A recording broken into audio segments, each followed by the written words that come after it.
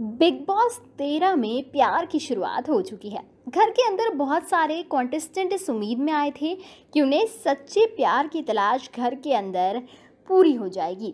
ऐसे में big boss के घर में दो ऐसे दिल करीब आ रहे हैं जो एक ही शो में पति पत्नी का किरदार निभा चुके हैं। ये दोनों कंटेस्टेंट कोई और नहीं, बल्कि सिद्धार्थ शुक्ला और रश्मि देसाई ही हैं।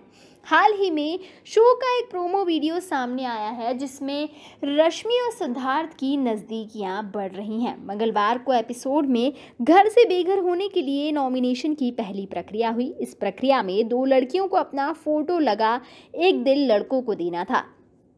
ऐसे में देबलीना भट्टाचार्य और आरती सिंह दोनों अपना दिल सिद्धार्थ को देती हैं, वहीं शहनाज ने अपना दिल अबू मलिक को दिया और बाकी सभी लड़कियों ने अपना दिल पारस छाबड़ा को दिया। बाद में ट्विस्ट आया कि लड़कों को मिले सभी दिलों में से सिर्फ़ एक ही दिल को लड़के अपने पास रख सकते हैं।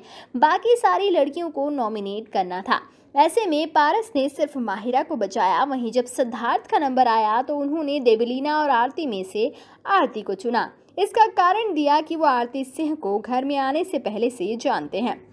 बिग बॉस तेरह में आने से पहले रश्मि और सिद्धार्थ सीरियल दिल से दिल तक में नज़र आए थे। बिग बॉस में ये दोनों बेड साझा कर रहे हैं। हालाँकि रश्मि को सिद्धार्थ के साथ बेड साझा करने में आपत्ति भी हुई थी।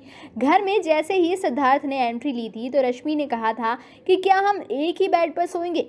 रश्मि ने ऐसा करने से इनकार कर दिया था। तब सिद्धार्थ ने कहा कि ये बिग बॉस का नियम है और ऐसा करना पड़ेगा। और अब दोनों के बीच नज़दीकियाँ बढ़ती हुई देखी जा रही हैं, क्योंकि जब बिग बॉस का नया टास्क हो रहा था, उसमें सिद्धार्थ को जब टॉर्चर किया जा रहा था तो सिद्धार्थ को टॉर्चर करते हुए देख रश्मि को काफ़ी बुरा लग रहा था और रश्मि वहाँ रो भी पड़ी थी।